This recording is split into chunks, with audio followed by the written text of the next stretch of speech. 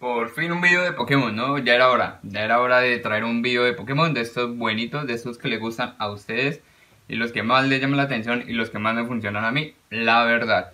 Pero bueno, hoy estamos con un fangame que la verdad pensé que lo había traído, pero no.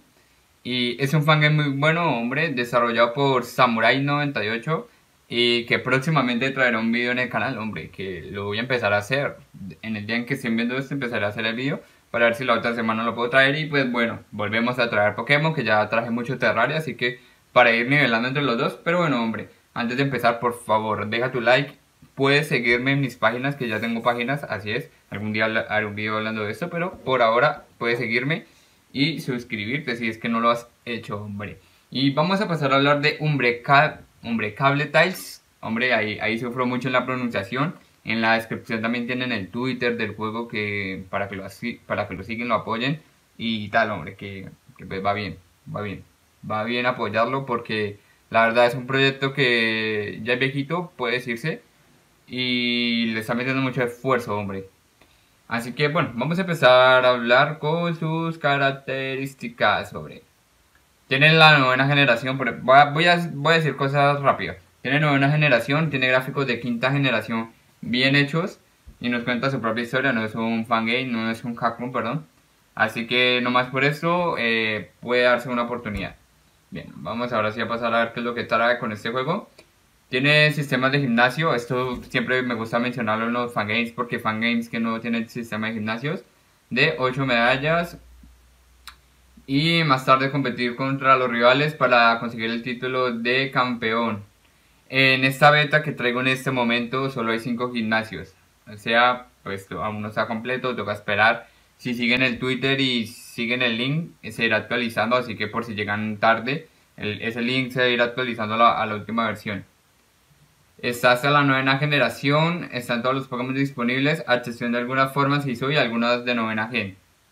Bueno, están los sprites animados, que esto también es muy importante decirlo, eh, que está muy bonito, hombre. Esto, esto de los sprites animados ya todo el mundo lo, agrega y, le da más vida al juego, hombre. Tiene protagonistas múltiples. A diferencia de muchos fangames de Pokémon, tus rivales son más importantes que los protagonistas, por defecto. Por lo que tienen ciertos arcos en los que podrás manipularlos y jugar con sus equipos Pokémon. Ok, ok. Eso es un poco lo que hace el Pokémon reinicio. De que juegas con otros personajes. Así que así es, puedes manipular eh, más personajes, como son los rivales. O sea, tú no eres tu propia historia, ¿no? También cuentan la, historia de otras personas. Hombre, eso está interesante, eso no lo sabía.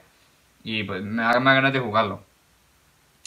Eh, hay un sistema de logros y misiones secundarias. Bueno, eh, al experimentar ciertas misiones secundarias que podrás realizar durante tu aventura, que deberás buscar por tu cuenta y completar hasta más de 25 logros actuales. Como digo, son gráficos de quinta gen, lo cual está bastante bien. Los Pokémon te acompañan. Los Pokémon te, acompañan, hay Pokémon acompañantes. El trabajo artístico, por cierto, que está muy increíble. Eh, está bonito, me gusta. Tiene Munkchucks, o sea que salen los personajes acá en esta parte. Así como, por ejemplo, meter a Victini acá. Así, así tiene este, estos gráficos. Eh, los tiles también están bien, se ven que los ha editado un poco. Y los personajes, bueno, están bien, hombre. Eh, tiene historia, bueno, como digo, su propia historia. Después de varios testers, todos coinciden.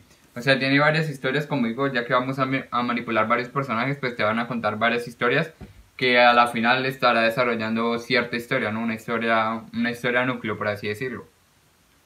Eh, tiene el sistema de, de, la experiencia pues, de, la, de las últimas gens, eso también es bueno que lo tenga. Ya si no se, eh, se es tan tedioso levelear, hombre.